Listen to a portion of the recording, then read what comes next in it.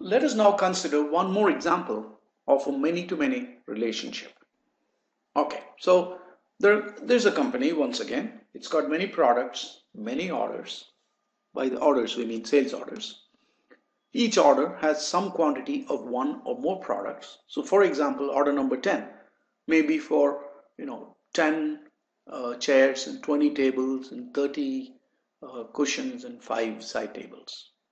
Okay, so it's one order, but it's got many different products on it.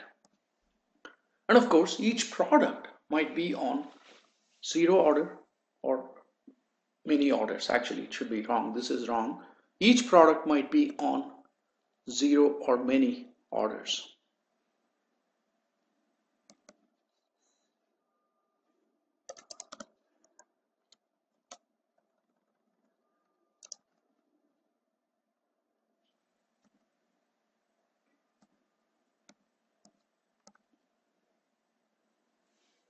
Okay, so see the relationship here. Every order has to have at least one product, but a given product may be on zero orders or many orders. But of course, you may say, well, how can the same physical product be on multiple products? It can be on only one at a time. We're not talking about physical product. We're just saying this order has uh, chairs ordered on it.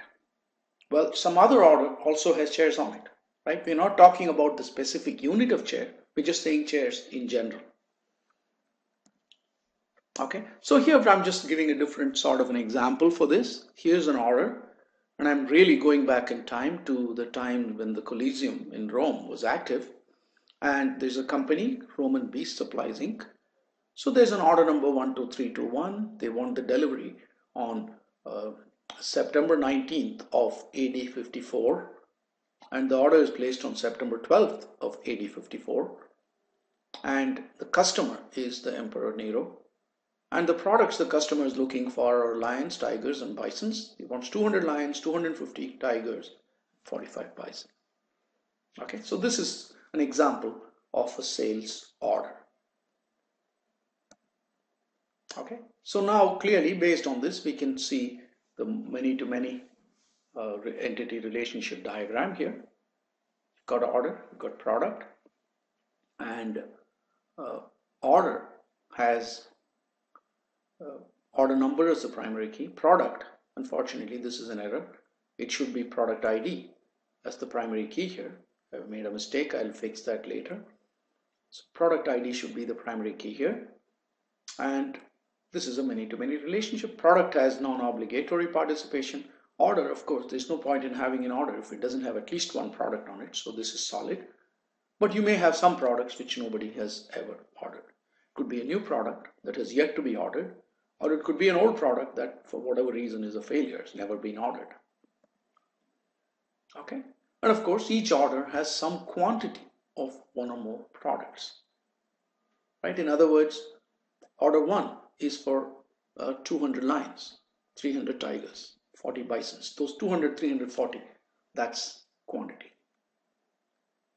Okay, so it's a many-to-many -many relationship and we can clearly see that this many-to-many -many relationship is uh, has the attribute quantity, the, the associative entity. We've called this associative entity as order item. Okay, so to go with with this, every item here on the order is an order item. So that's why we've called the associative entity as order item. Now clearly, an order can have many order items and a product can also be on many order items. Well, those items will be on different orders, whereas all the order items of a particular order will be on the same order, but that doesn't matter. Each order item is an individual order item and a product can have many order items. Once again, this is a mistake. This should There should be a, a primary key notation here. This cannot be an optional attribute. This is a primary key. And therefore, uh, the primary key for order item could be order number, order ID, product ID, or order number, product ID, the combination. Therefore, we use key migration. And I've just given some names on the relationship.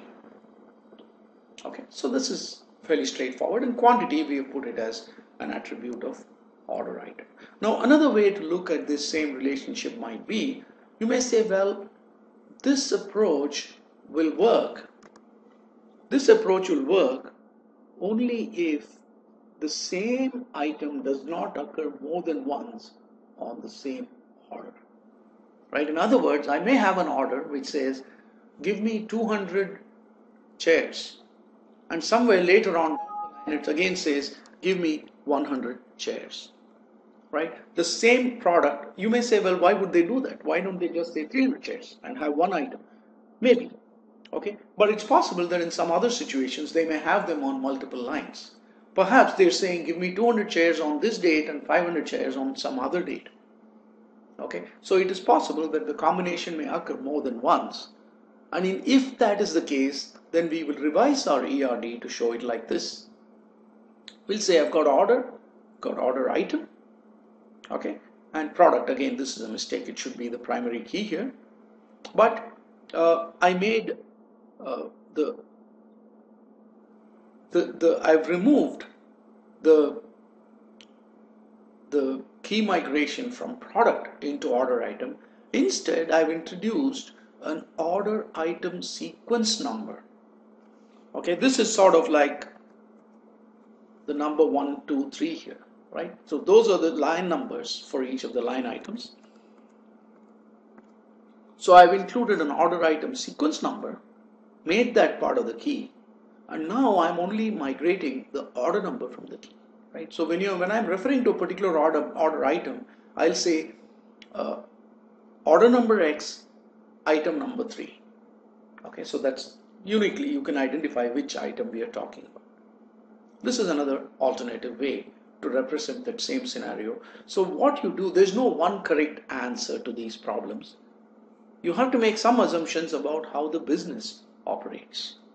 Based on that, we arrive at these things. Of course, note the order item sequence number that's been added and also note that I have removed the key migration notation here because the same order number product number combination can probably occur more than once. If that is the case, then we'll not use the two of them together as a key. Instead, we'll introduce an order item sequence number and then just use the combination of order number, order item sequence number as the key.